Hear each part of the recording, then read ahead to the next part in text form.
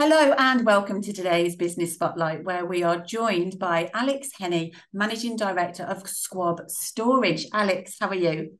Very well. And yourself? Yeah, really good. Thank you. The sun is shining. So, no complaints from me when the sun shines. Absolutely. A very late Indian summer. I know it's always the way. It's we've had a nice little sandwich, sort of June and September, treating us nicely. It's um, a shame about yeah. the other months in the middle. I know. I know exactly, exactly. It waters the grass. What can we say? Um, I like to dive straight in. Alex, tell us um, what you do and how long you've been doing it for, please. Sure. So I'm the managing director of Squab Storage. Uh, we are a self storage and workspace business, which is uh, headquartered in Leamington Spa. Uh, but we, over the last uh, few years, we've been on an aggressive expansion plan, and we have got uh, now a number of sites not just in the Midlands, but now across the UK. Uh, we've got operational sites in Evesham and in Rubery in the Midlands.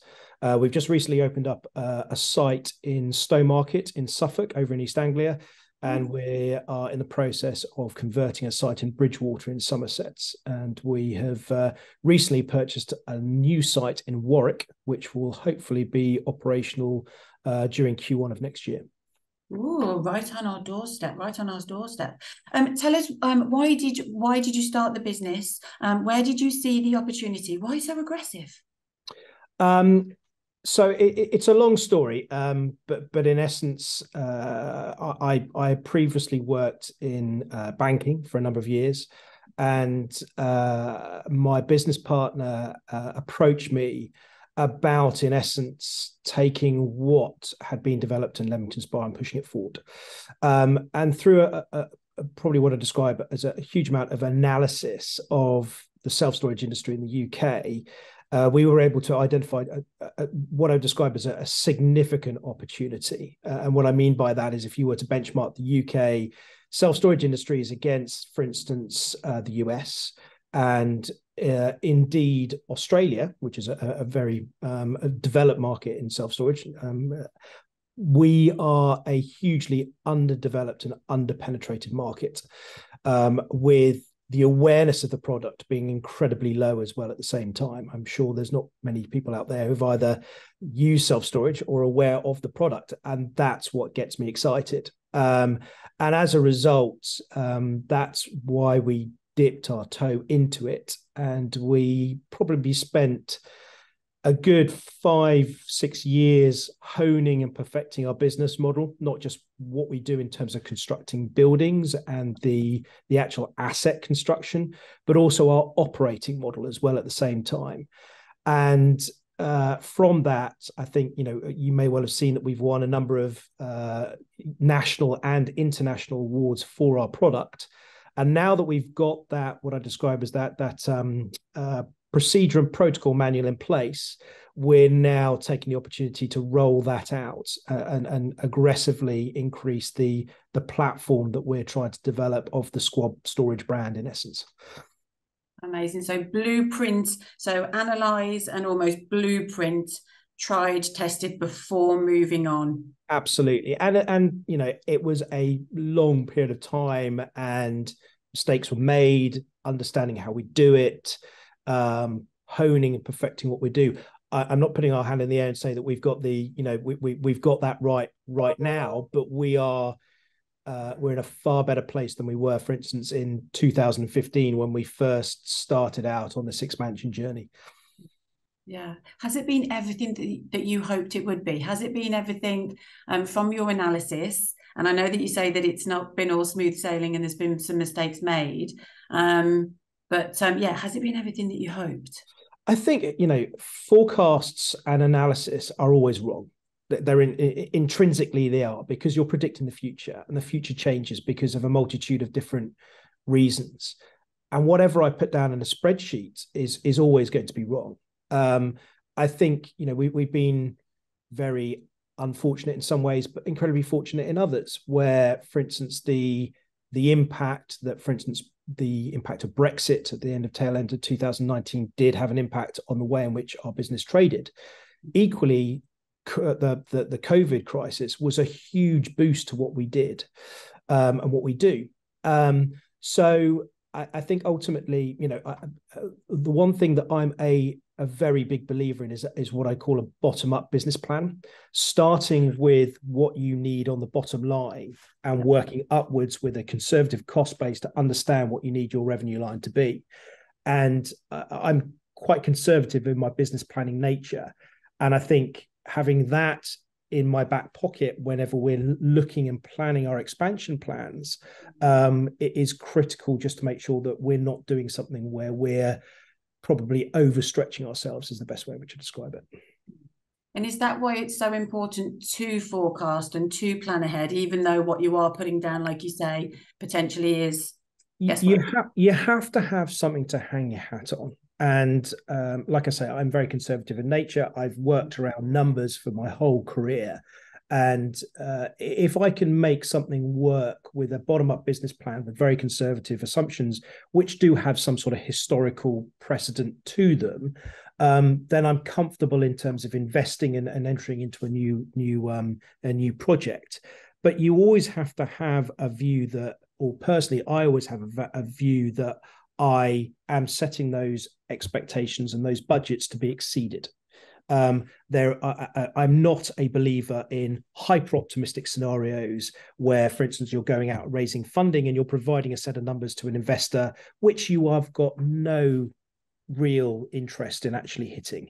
Hmm. Um, I'm very proud of the fact that most of my budgets have been exceeded over the last eight, nine years. And that is because of that conservative bottom up approach that I take. Yeah, no, that's a great share. Um, what would you say makes you stand out um, in the industry? And that's um, I'd like to look at that both from um, a um, sort of local, sort of UK base, but also internationally, if we could.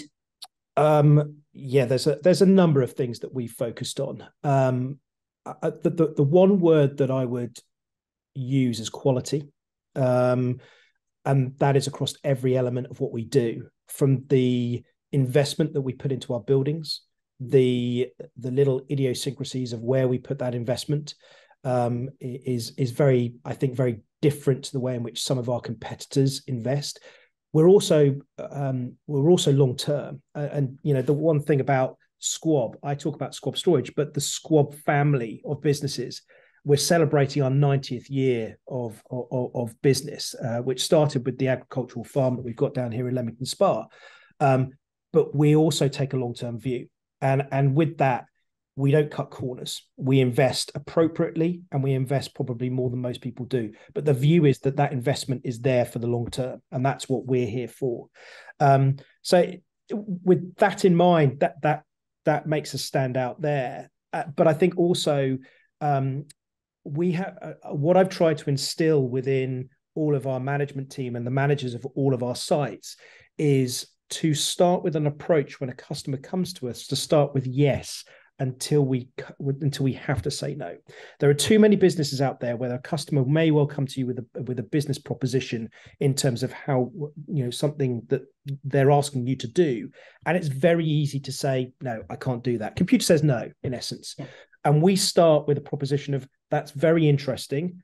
Yes, and unless there is a barrier, you know, it may be a regulatory health and safety business regs perspective that we can't do it, yeah. then that unfortunately we part ways. But you know, that has meant that we've done some really interesting projects, you know, specifically here in Leamington Spa. We've got a, a swimming pool in a collection of shipping I was um, just about to say, I'd have loved to have been a fly on the wall when you said yes to the person that said that they would like to put a swimming pool in a container because I've seen it and it's phenomenal. Exactly. And we've got people operating um, uh, uh, barbers within self storage units. And that is, in essence, what our business is about. And we have it's it's developed it's not been shall we say something which we set out as a mindset at the beginning but what we've tried to create now is more of you know we don't look at ourselves as a self-storage business. We look at ourselves as the capability of creating communities within the facilities that are that we operate. And that is very that's very much that's very obvious where even when you walk onto one of any of our facilities we have uh, uh, trying to create a, a community across the assets. There may be, you know, uh, about 50% of our customer base now are commercial customers. Um, uh, and we carried out an exercise about this time last year where we identified for instance in leamington spa we have close to 200 250 individual commercial customers who probably don't know each other and that they're using the same asset for their business well surely there must be some sort of synergy that we can create which allows those 250 businesses to potentially do business with each other. So we're mm-hmm. creating not only are they using our assets, but we're potentially creating value for them as a community within that asset. What uh, what's been your solution for that? So do you what do you offer? Is it a networking? Is it a, yep. so we, we we we've worked hard to create um, uh, almost like a, a, a, business package. Um, so we've got we use uh, a closed network very similar to Facebook. We use something called Mighty Networks, which creates a closed network for all of our commercial customers, which they're allowed they're able to um, subscribe to. They mm. can share on there, they can promote, um, and it creates this almost, like I say, closed network, symbiotic sort of structure for all of our commercial customers.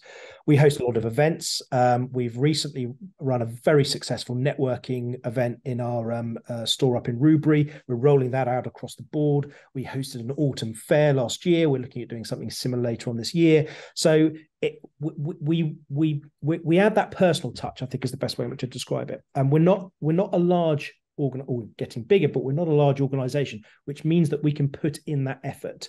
Um, but our, our view is that we're investing again for the long term. You know, a lot of our customers come to us, they may well inquire in one month, and it might be six months before they make a purchasing decision.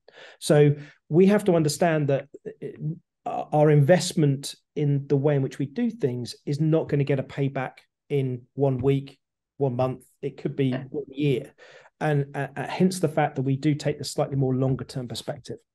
Mm.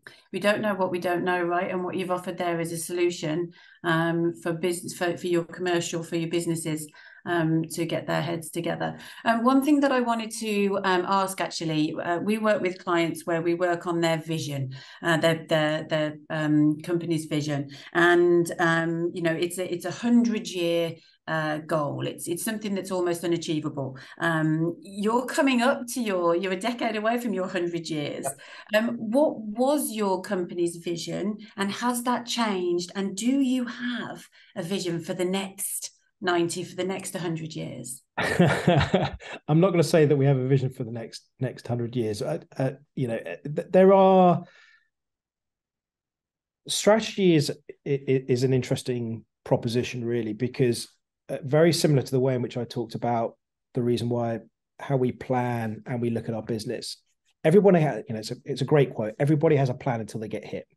Um, and, and, I think that was Mike uh, Mike Tyson quote. I think is the best way, which is if I remember correctly. But we always look at strategy. Yeah, Emlyn and I, my business partner, we sit down and we have a very uh, a very detailed strategic view. I work very much on a strategic and a tactical perspective. Mm-hmm. Strategic in terms of our long term plan, tactics about how we're going to implement that. And um, our strategy is very clear. Um, and it, it, you know, so a five to seven year view that we have about how we're going to develop the business. We work with bricks and mortar, so it doesn't happen overnight. You know, building, constructing, renovating a building could take as much as two to three years. So a seven year horizon actually is quite short from that perspective. It sounds quite long um, from the perspective of, you know, as an individual, but that's how we work.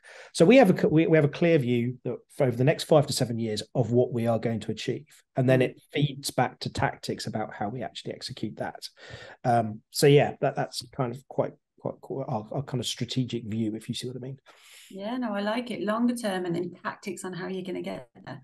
And um, what would you say you could attribute your growth to, Alex? Uh, a lot of hard work. Um, I think uh, if I take it back, there was this an analytical view of there's an opportunity, um, rigorous analysis and understanding the marketplace, and a real view that we could create a successful business. Mm-hmm. Then it goes back to exactly what we just talked about. How do we strategically carry that out? If you see what I mean, you know, an understanding of whether there's a there's a beginning, a middle, and an end of, of what that strategy looks like, uh, and then equally, as I say, it's then a devoted cause to, to, to what you're actually trying to execute on, uh, and not cut corners and do things well, and and try and stick true to what that strategic vision is.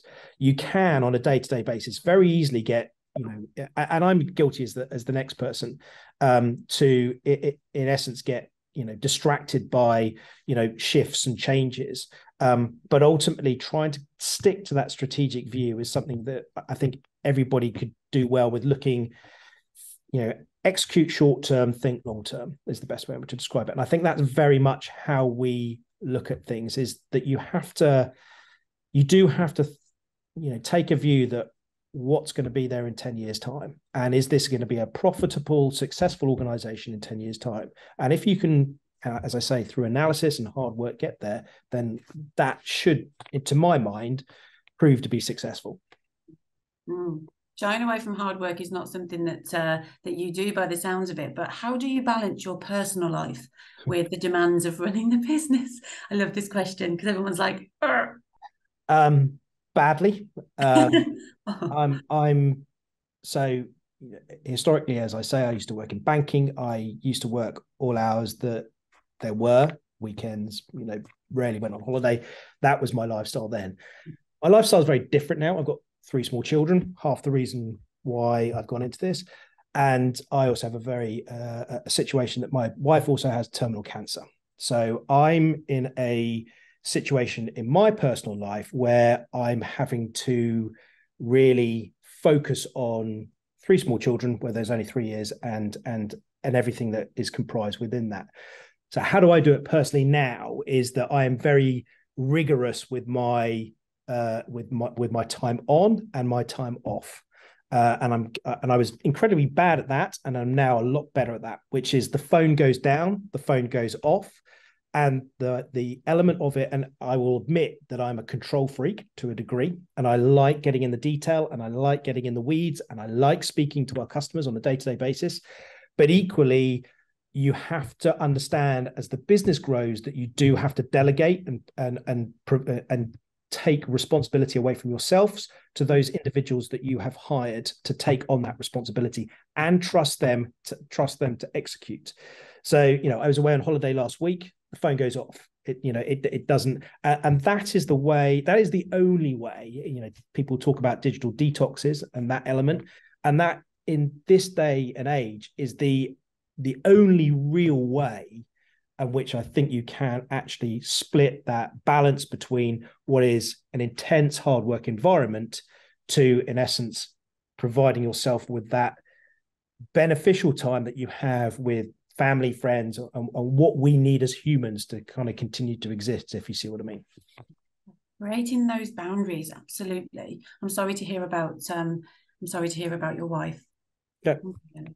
Um, creating those boundaries, um, having life events um, give us that nudge, give us that almost sort of punch um, is is one way to kind of wake us up to setting boundaries. Um, uh, we we push our limits far too often. Um, are, do you have any words of advice for somebody that um, hasn't had the the, the the the sort of the tap on the shoulder that you have that this is something that you need to look at? You have to. You have to. Uh, the, the strange thing is, you, you know, lots of people you, know, you can read lots of blogs and how millionaires and billionaires, you know, I, I get up at 5 a.m. I don't. I get up at 8 a.m. All, all this sort of stuff. Yeah. I, I, think the the benefit that you do get, and as I say, I I am an absolute, you know, I love getting in the detail. I, I absolutely, love, you know, I that, I thrive on that. I thrive on the knowledge of of building that knowledge bank up. But equally, you do have to appreciate that sometimes you do actually have to to get you have to get out of that because you need to appreciate what else is going on around you if you see what i mean. And, and you know I, I, spent many years looking at lots of different businesses and in a strange way that was hugely beneficial because that allowed me to garner huge learnings from other industries. Mm-hmm. now i'm very much siloed and i'm very much aware of that. And sometimes yeah okay whilst we've got we're plowing our furrow in storage am i learning from what's going on in e-commerce not enough as what I used to. And the same can be, uh, you can draw the same sort of conclusion in life. From the perspective of focusing very much on work, you're not getting the full balance of what you could be learning elsewhere, mm. which can be beneficial to your work environment. Yeah. So, whilst it's hard and the pressures are always there, I, I always, and I'm equally as you know, it, it's as hard for me as as the next person. Sometimes you just do have to just pull the plug and be able to say, look, I'm, I'm, you know, the phone is off. It's, you know, and you are spending that time away. And it, in a strange way, I always find, as I say, I've just come back from holiday. In a strange way, I come back reinvigorated with new ideas about how we can do things. Picking up a book, you know, reading something, talking to someone, actually allows is beneficial to you because it allows you to grow that knowledge base or thought process around what you're trying to do for your business. Mm-hmm. Um, getting in the weeds is great, but equally you do need to spend that time actually contemplating. It's a bit, as I say, it's a bit like the short-term, long-term mentality. Yeah. Brilliant insight. What book are you reading at the moment? And I only say that because uh, a book I ordered came today, uh, The Visual MBA, which is so cool. Um, what book are you reading at the moment that we can recommend to our listeners? I love behavioral psychology. Um, and I always have done because uh, from my previous uh, career, I was very much into um, uh, behavioral finance. Um, I'm reading something called the Nudge Unit, um, which is quite an old book, but it's yeah. Uh, it's uh, it's about how small changes can create um, big effects, and it's uh, basically predicated uh, around um, a number of initiatives which were put in place in the time of the coalition government back in the the 2010 period. Um, which, when you read the book, you'll you'll go, "Wow, actually, I remember that, uh, and, and, I remember the effect of that." Um, and I find that you know I'm a big fan of Matthew Syed and you know, but as I say, um, behavioral uh, psychology and all that sort of good stuff. So yeah, mm. that's that's what I've got on the side of the bed at the moment. Lovely. I just made a note of that. That's great. Um, what would you say has been your biggest learning so far? Patience. I think um, when I was younger, I think I was in a rush to get somewhere. And uh, I probably made decisions that were predicated on the fact that I was in a rush to get somewhere. As you get older, you realize that there's not quite so much of a rush. So, investing in yourself, for instance, you know, what's my biggest regret in terms of my um, uh, uh, in terms of my career? I, I, think probably one of the biggest ones is that I didn't study accounting. I didn't carry out, uh, didn't didn't follow an ACA or somewhere like that. Um, and the reason being because if you if you you know you get to this point in life and running your own business, you know the understanding of, of numbers and accounting is critical. Yeah, I've got a good understanding, but I'm not fully qualified. Um, and I think back then it was the fact that I wasn't willing to invest three years of my life in, for instance, you know, an accounting qualification. Uh, you know, was, was, you know no, I'm not going to do that. That's, that's a, three years is a long time. I think the what I as I've become older, it's the patience of three years is not a long time, and that investment would have been a fantastic thing to have done. And I think as as I've as I've grown older, it's a view that in business things don't happen overnight. It does take time, and results take time. And you can you can take a view that yeah you can make mistakes quickly. That's fine, but ultimately um, having the patience to to carry out a strategy is is something which is critical if you see me yeah absolutely. Patience is a great one it's a great one i always like to end with um, where do you see yourself in five years and do you have any words of advice for other business owners who are looking to grow their business five years time um, I think, as I say, we've got a five to seven year strategy. Uh, you know, I think we'll probably be close to the, the, the end of the execution phase of that. I, I, would hope that we are that the the Squab Storage platform and brand is is a strong, developed nationwide self storage brand. That we are still upholding the values and the ethos that I've talked about, which is one based on quality and uh, a personal touch with a, the capability of still being able to say yes to customers when they come in with with ideas to us. Um, I don't see any real change on that in the next five years. And as I say, having patience and you know, five years might sound like a long time, but it does go pretty quickly if you see what I mean. Yeah. Uh, and if you know going to your second questions what would what would i what what um uh, what would i uh, in terms of advice for people who are looking to grow their company? I, I think i go back to the point that i made at the beginning is if you've got an opportunity where you can sit there with a bottom up business model and give yourself an idea of what that top line needs to look like in five years time and you can put together a strategy then i think that that is a really really robust approach to growing your business and i think sometimes people can take a shortcut that there's a view that here's an opportunity and they start the business without really you know for for, for the love of it maybe and the passion of it without really understanding that this might not necessarily be a successful venture wow. and that's and that's from my perspective that that's again it goes back to a, a rigorous approach of analysis patience understanding and execution. Yeah. Yeah. Such a great such a great piece of advice. I've got a pyramid in my in my head thinking about the bottom up business plan um, and going in um, eyes wide open um, into that venture. Absolutely. I think for me what i've taken from um, today's conversation is uh, with yes until you have to say no um, work on yourself and set boundaries and have patience I think it's been um, a fantastic, um, there's been lots of insights and a fantastic conversation today, Alex. Thank you so much for joining me. Um, okay. I will pop your LinkedIn or the or Squab Storage uh, link underneath in um, the notes from today. But for now, I will say thank you so much and I hope we get to see each other soon. Thank you. Thanks, Alex. Bye.